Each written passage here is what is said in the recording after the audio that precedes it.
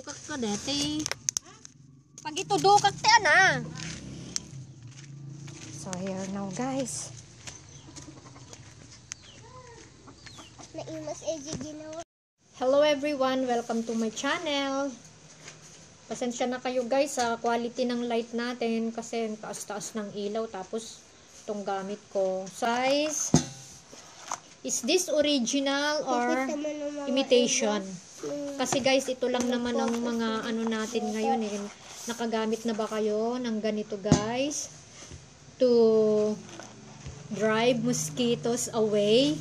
Kasi guys, naging in demand din ito dito sa amin. And before, this is uh, 80 pesos per box and 30 sticks only guys. Pero ang bilis namang maubos ng isang stick guys. Segundo lang. Hindi ka pa nakakatalikod guys.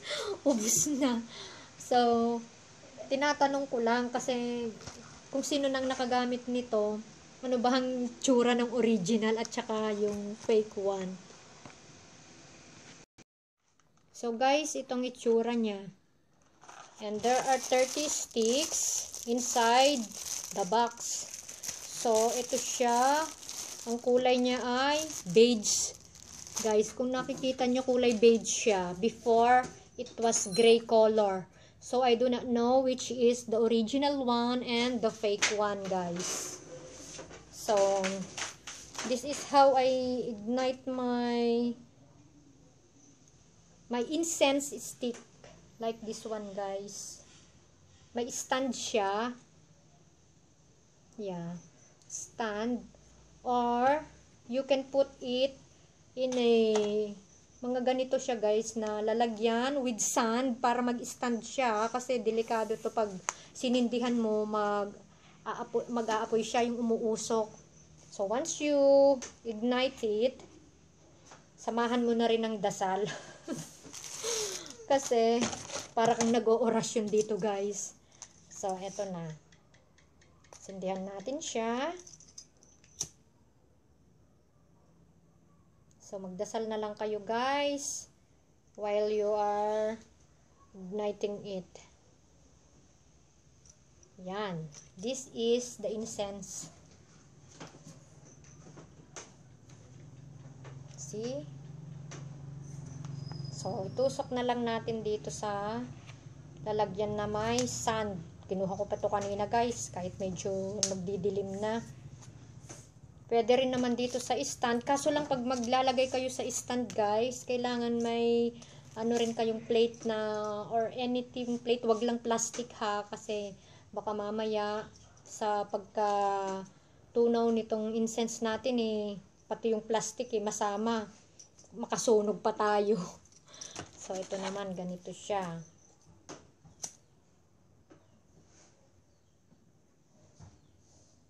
Abracadabra. so, eto na. Ayan. Patayin natin yung apoy. Let it just smoke, guys. Hanggang sa maubos.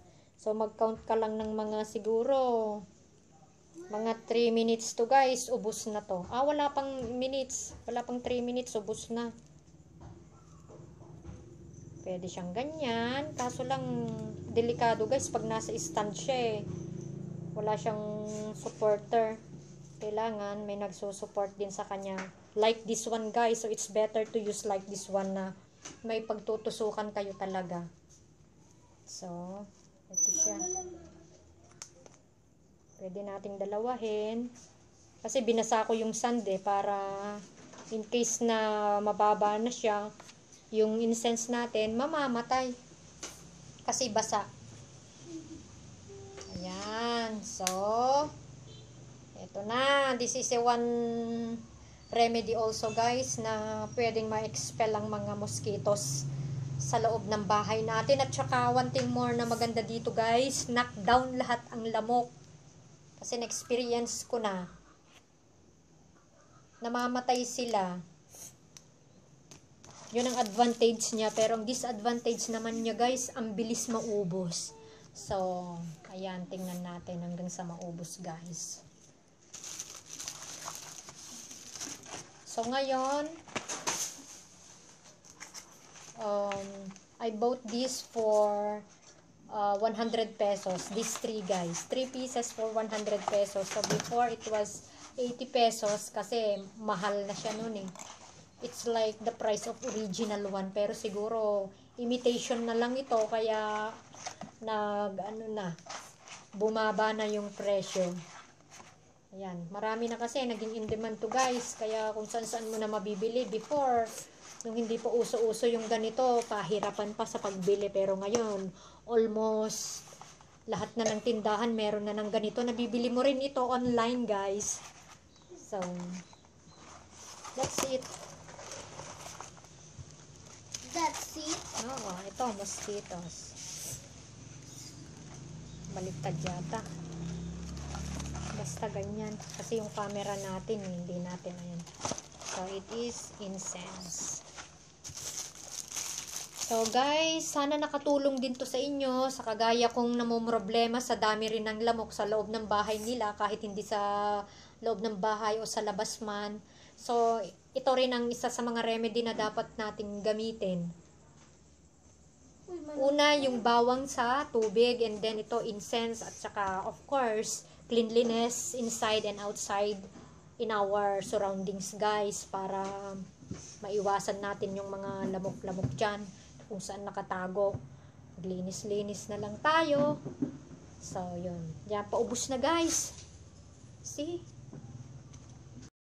So guys, eto na. Kaya sabi ko sa inyo, before na sindihan nyo, magdasal na kayo, nasabihin nyo, mosquito, mosquito, go away, go away. Or kahit anong dasal nyo dyan, para kayo nag-oorasyon guys. Look at this one, oh. Dapat ginawa kong tatlo para mas maganda. Dadalawa lang kasi. So, I hope this video will help you guys sa lahat ng namumroblema na kagaya ko. So, thank you for watching. God bless everyone. Please like, comment, share, and subscribe.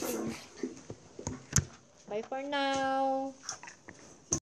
So guys, eto na yung sinindihan nating incense. Medyo ano na siya oh. Ilagay natin din sa sulok-sulok siya guys. Kasi yung mga lamok talagang knockdown siya. I'm sure. Makikita nyo naman to pag trinay nyo din guys eh. Yan. Guys, So, na. aray! Whew! Fuf, masakit pala. Mama, O, kaya magdadasal na na lang para tayo rin yan. naging ganyan. Okay? Oo. So, matagal-tagal pala guys. Inano ko siya. 5 minutes na, no? Ano rin naman pala matagal-tagal siya, guys.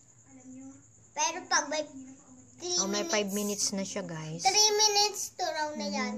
Ay, 2 minutes. 2 minutes. Yan, nausok-usok lang siya. Eh, mas maganda naman to guys, kaysa sa yung katul eh, na gagamitin. Hindi sila namamatay sa katul guys, pero dito, Namamatay. ay garantiyo talaga. Knockdown ang lamok, patay. Yun nga lang, madali siyang maubos. Kaya dapat So, thank you for watching. Hope you like this video again, guys. Please like, comment, share, and subscribe. God bless everyone. See you on my next vlog. Bye! To all my subscribers and viewers, thank you, thank you, thank you.